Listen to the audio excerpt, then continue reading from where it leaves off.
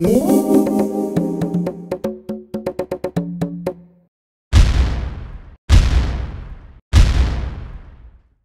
years ago, got into flying helicopters, and I've decided to build my own helicopter. I've been working on this kit called a Helicycle for uh, the last three years now, and I'd probably say I'm 70% uh, complete with it. Probably another year or two and I'll be done.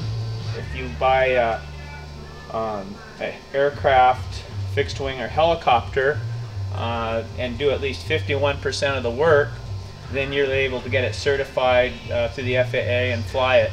And in a lot of ways in aviation, with certified aircraft, uh, they have to go through so much testing that you, there really isn't a very good evolution in technology.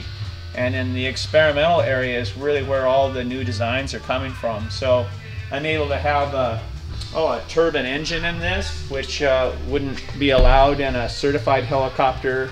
Uh, an engine alone like this in a certified helicopter might be over two or three hundred thousand.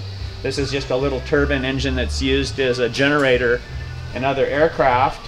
And uh, you know, this engine's under $5,000. So there's a huge um, economy when you're able to build it yourself.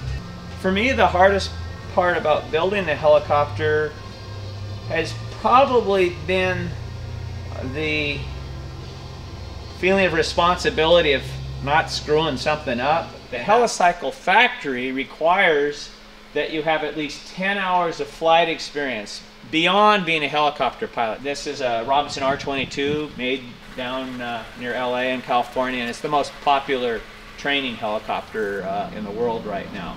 They require you have at least 10 hours in this very type of helicopter because it has the closest um, handling characteristics to the helicycle.